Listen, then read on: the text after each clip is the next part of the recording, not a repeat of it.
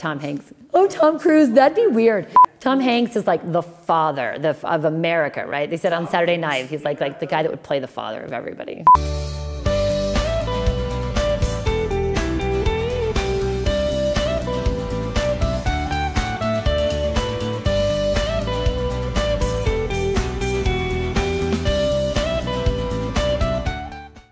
What were some of your earliest interests that led you to pursue a career in film?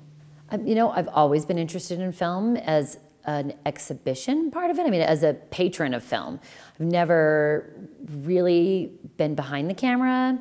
Um, I enjoy watching films with people and experiencing them with people. And I remember even as early as, you know, the early 80s, late 70s, my dad coming home with a VHS and showing us Star Wars. And that was a, you know, something my family always did together. So that was probably pretty formable for me is to watch films with my family together. Um, and then my background is really in uh, is in event management and logistics.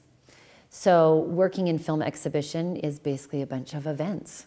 So managing those, it, all those led into my current career. Sure. You were a columnist for Slug Magazine for 16 years. Can you talk about the importance of telling stories of artists local and nationally? You know, I love that Slug Magazine stands for Salt Lake Underground. Um, there are so many Utah stories. In fact, we even have our, a magazine called Utah Stories, right? Like, um, print media is an amazing avenue to tell and capture those stories that um, that maybe aren't big enough or haven't gotten out there enough to, to warrant maybe film.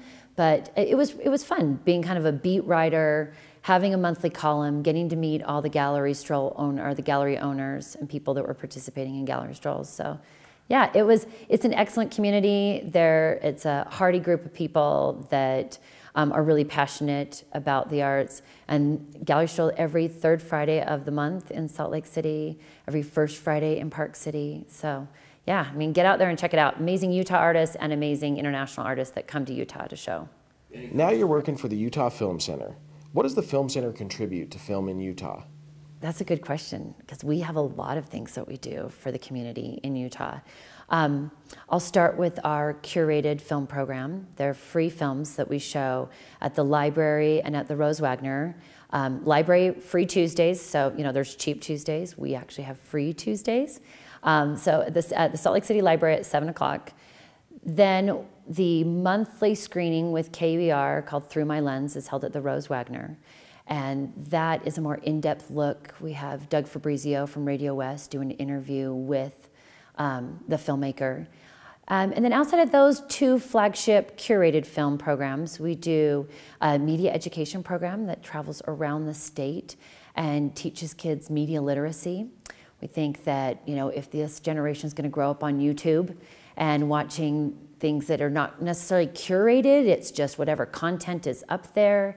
Um, it drives me nuts to watch YouTube because there's no master sound mixing and, and it just flutters around too much. And maybe that's showing my age, but I'd like the younger generation to also understand what the artistic excellence needs to look like and, and what's expected to go from a YouTube show to a feature film. So we do a little bit of that. Um, we also show kids the animation process with um, professional animators that come into the classroom and give a lecture on all the jobs and um, details that go into making an animation.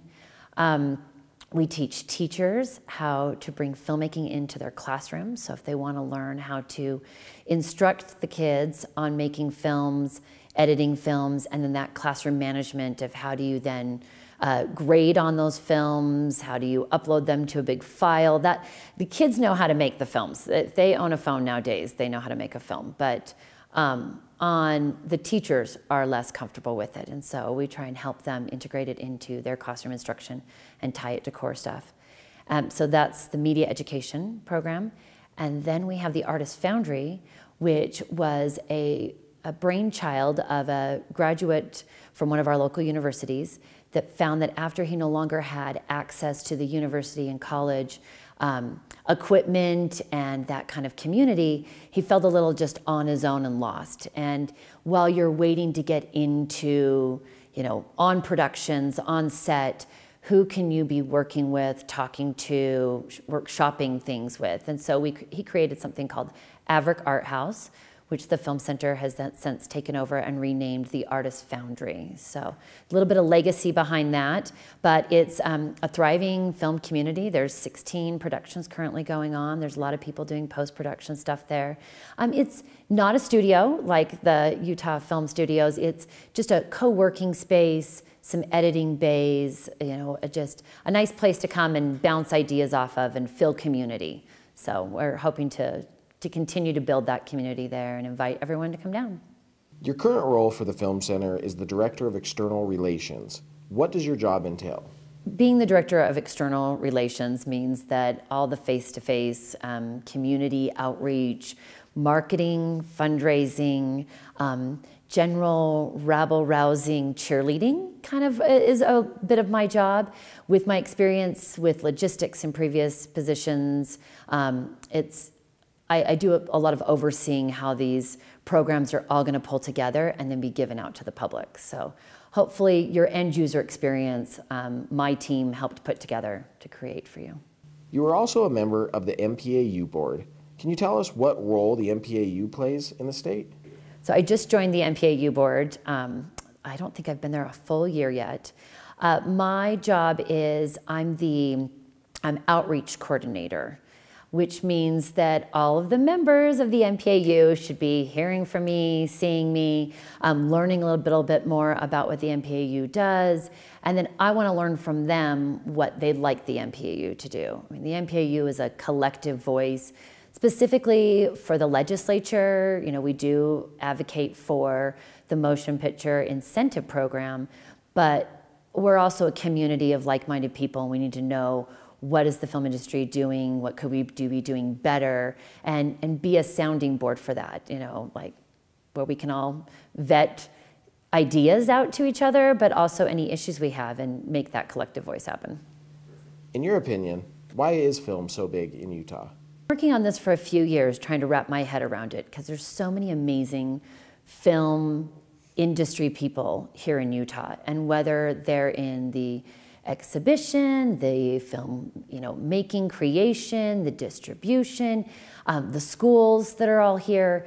Um, there's really an energy around film in Utah. I mean, Sundance is here because of it, but also, it, I mean, they, they help create it and keep it going, but it was here before Sundance. It's, you know, we go back to spaghetti westerns from Kanab, Utah. Um, we recently showed the Union Pacific film, and just to, to, there's history here, a rich history. So tried to figure out how to articulate that history um, to people that are wondering about why film is so big here in Utah. And um, there's a pipeline that you can kind of see that we inspire film through our landscapes and we inspire capturing those on film and photography. And we have schools that, that teach kids how to do this. We have everything from our education programs in elementary school it's where the Film Center is helping in this pipeline of filmmaking creation is what I call it. Um, so it's the you know media education from early on. Then we bring Spy Hop in. Uh, they take them high school level. We have the School of Performing Arts that does that too. East Hollywood High. I mean, there's so many programs. You then go to college, amazing universities and, and, and undergraduate programs available.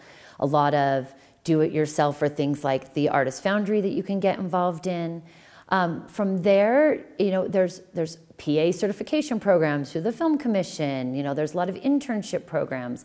So I think that it's not just what the Film Center does or what the MPAU does or what the Film Commission does, it's how we all work together to kind of take somebody from, you know, taking a beautiful photo in southern Utah all the way through working on, you know, a live set here at the studio or anywhere in one of our beautiful landscapes. Your husband Derek is also in the industry. Derek works for the Utah Film Commission. How similar are your jobs? You know, I tell people it's the Utah Film Center and the Utah Film Commission. And it, we should probably get into sumo suits and battle it out so people realize there are two different names. Um, but in the meantime, I explain it as that he does um, film production, um, you know, are advocating for film production and, and recruiting, soliciting for film production. And we do film exhibition, media literacy, and artist support services. So, but yes, they overlap all the time. Our organizations work together again. They're all part of that pipeline. So we end up at meetings together, um, you know, uh, events all the time together. So it's just, yeah, it's it's kind of fun because we both love film, and it's also like you're never off the clock. Looking forward a few years from now, where would you like to see yourself and the film industry in Utah? I, I would be great. I'd be happy to be right where I am in a few years. I want the industry to be a bit different in the few years. I want it to be funded more. I want uh, the legislature to understand the value of the film incentive, how it relates to how we're viewed on a national and international level. And I want to see that pipeline really solidified more. I want there to be a level of communication between all of our film industry professionals on how we can do bigger and better things when we're working together.